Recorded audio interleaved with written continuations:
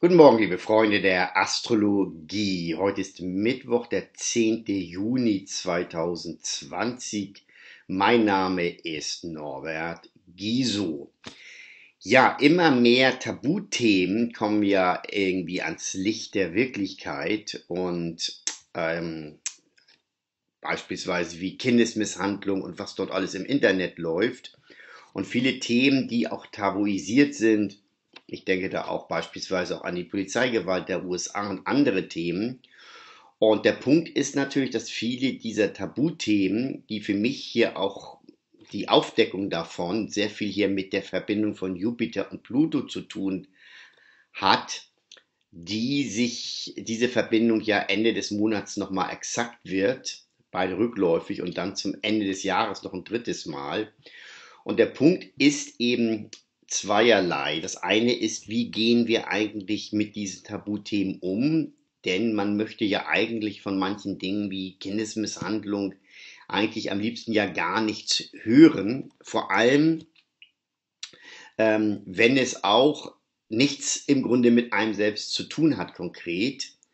Und zum anderen, ähm, wie steuern wir das eigentlich, wenn immer mehr Themen auf uns einströmen? Kann es da nicht zu dem Effekt kommen, der aktuell hier auch zur starken Neptun-Phase passen würde, dass man so den Kopf in den Sand steckt und sagt, ich will eigentlich gar nichts mehr hören, mir reicht das jetzt. So, und der, was man sehr gut in dieser Phase, damit meine ich auch die Corona-Phase, aber auch das, und das ist ja schon ein bisschen länger, MeToo-Debatte und andere Dinge, dass all dieser Schmutz und Dreck irgendwie hochkommt, ähm, was ja sehr gut zu beobachten ist, finde ich, bei uns selbst und bei anderen, ist ja das, dass wir ja nur zu gerne bereit sind, uns aufzuregen, uns zu engagieren, wenn unsere persönlichen Belange betroffen sind. Also wenn ich in meinem Ego oder in meinem Drang nach Verwirklichung, in meinem Beruf oder wenn es um mich, meine Familie und mein Geld etc. geht, meine Gesundheit, dass ich dann sofort irgendwie bereit bin zu demonstrieren, äh, mich zu engagieren, mich aufzuregen.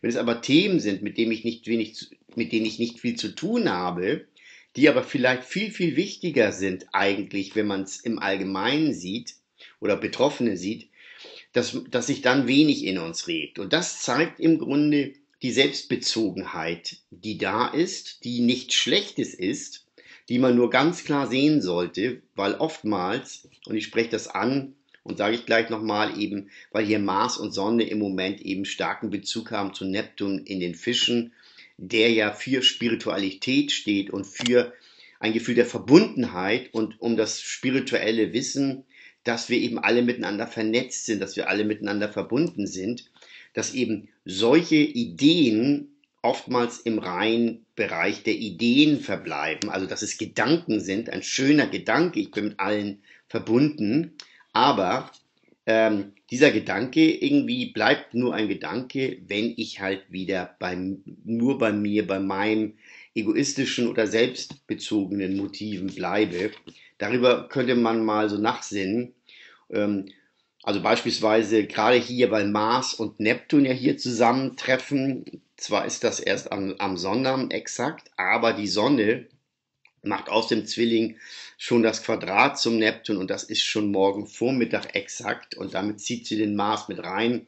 Wir haben ja jetzt in den nächsten Tagen bis Sonntag und ein bisschen darüber hinaus sogar eben das Sonne und Mars Neptun aktivieren und dadurch spielt Neptun eben eine große Rolle und das ist eben nicht nur von der Energie her so eine gewisse Müdigkeit, Ne, manche Leute würden sagen Frühjahrsmüdigkeit oder Heuschnupfenmüdigkeit oder Prä-Corona-Müdigkeit oder ich fühle mich schlapp, so, aber es hat eben sehr viel damit zu tun, auch, äh, dass die Energien, die spirituellen Energien nach innen gezogen werden und dass eben solche Gedanken auch aufploppen und Leute, die sehr sensibel sind oder sensitiv sind, die wissen inzwischen auch schon, dass es immer nicht nur ihre eigenen Gefühle sind, die sie fühlen, sondern dass auch kollektive Emotionen, kollektive Energien spürbar sind, vergleichbar mit manchen Leuten, die zum Beispiel wetterfühlig sind, ne, die dann auch Wetterveränderungen spüren, was ja auch kein individuelles Phänomen ist, eine Wetteränderung.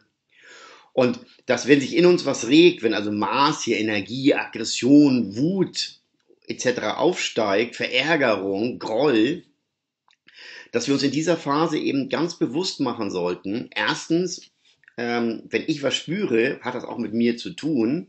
Aber es das heißt noch lange nicht, dass das, was ich spüre, auch aus mir nur herauskommt. Und wie kommt es eigentlich? Und die Frage kann man sich ja durchaus mal stellen, wenn man auf dem Weg der Selbsterforschung weiterkommen will und nicht im in, in der dumpfen Dummheit der Projektion verbleiben möchte, hm, dass man sich mal fragt, wirklich mal fragt, irgendwie, wie kommt das, dass dieses eine Thema mich so aufregt und andere Themen mich eigentlich kalt lassen und ich schnell weiter seppe. Und das ist eben eben oft diese, diese eigene Betroffenheit dabei. Und oftmals ist es ja so, wenn die eigene Betroffenheit nicht mal angesprochen ist, dass ein das Thema auch ganz schnell nicht mehr interessiert und das ist ja auch in Ordnung, nur viele Leute machen dann ein globales Thema da drauf, draus und sagen, alle sollten jetzt deswegen betroffen sein. Zu den Tagesenergien heute. Über Neptun habe ich ja schon gesprochen. In den letzten Tagen ja viel. Das rückt jetzt immer näher. Das bedeutet eben auch tatsächlich, dass manchmal sich das so zeigen kann, dass so eine gewisse Unlust da ist das kann so eine, auch eine Unlust sein, überhaupt den Alltag anzugehen. So Alltag und Alltagsbeschäftigung würde ich jetzt mal so grob ins Zeichen Jungfrau setzen. Und der Fisch liegt eben gegenüber und ähm, hat damit eben nicht viel am Hut. Und dadurch, dass Sonne und Mars hier Neptun aktivieren, ist immer diese Fische-Seite angesprochen. Ne, man könnte länger schlafen, träumen, im besten Fall meditieren oder sich kreativ beschäftigen aber auf, auf die anderen Dinge hat man wenig Energie. Und nicht jeder kann ja so seine Energie nachgeben, aber da, wo wir es können, sollten wir vielleicht dann auch sagen, tatsächlich habe ich jetzt vielleicht nicht so viele Energien für Außenaktivitäten und ich mache nur das Nötigste und schaue sonst sozusagen, äh, lass mich da auch führen, sozusagen vom Hier und Jetzt, von, von der Energie und schau mal, wo es mich dann auch so hinbringt, ist ja auch eine Sache, die auch wieder bald vorbeigeht. Eine etwas andere Sprache spricht allerdings heute der Mond als Tagesanzeiger der Energien, der sich heute im Zeichen Wassermann befindet und der morgen früh dann um 11.33 Uhr ins Zeichen Fische wechselt. Ne, also morgen tatsächlich dann ein starker Neptuntag mit Mars, Neptun, mit Sonne, Neptun und mit dem Mond in den Fischen, der ja dann auch äh, in den, äh, äh, am Donnerstag, Freitag hier über diese Sachen auch rüberlaufen wird. Aber heute Mond im Luftzeichen Wassermann, das heißt Sonne und Mond beide im Luftzeichen. Ähm, ein Aspekt, den es gar nicht so häufig gibt, wie man denken könnte. Ähm, was natürlich bedeutet, dass Sonne und Mond harmonisch stehen und dass hier auch das Thema Kommunikation angesprochen ist. Kommunikation ist aber jetzt auch durch Neptun und auch hier durch Merkur im Krebs, der hier auch sehr emotional gefärbt ist und das Quadrat hier zu Chiron hat, also der sehr verletzlich und emotional ist. Ein falsches Wort kann hier schon mal viel anrichten. Ähm, dass wir uns besonders darum bemühen sollten, unsere Kommunikation aufrichtig und ehrlich zu gestalten.